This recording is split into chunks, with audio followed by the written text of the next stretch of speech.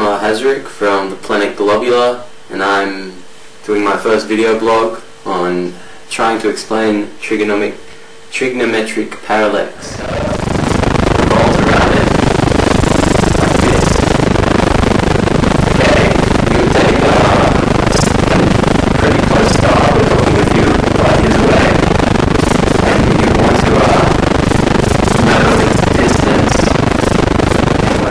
the Earth, we um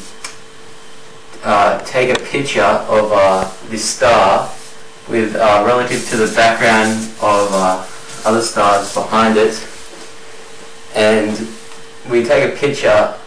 getting in line, and it shows us uh, this star in relative parallax relative to uh, background stars, and then we wait six months, and our orbit, your orbit comes around here the opposite end of uh, your planetary orbit around your sun and we take another picture of the same star relative to the background and uh, we get a different thing just like as if you uh, took your finger in front of you and you close one eye at once and your finger seems to be in a different position. Okay, so with these pictures we calculate this angular shift sort of thing, uh, let's call it theta I guess for now. And knowing that angle, uh, we can calculate the distances because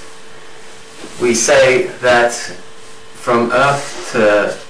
center of the sun is uh, one astronomic unit and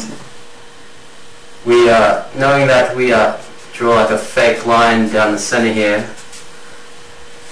halving the theta in half, giving us a parallax angle. And knowing the one astronomical unit in this parallax angle, we can use a trigonometry to uh, find out this distance here, or this distance here. So we can find out the distance that this star is from Earth, or the distance the star is from the Sun. And yes, that's how uh, trigonometric parallax works. Thank you.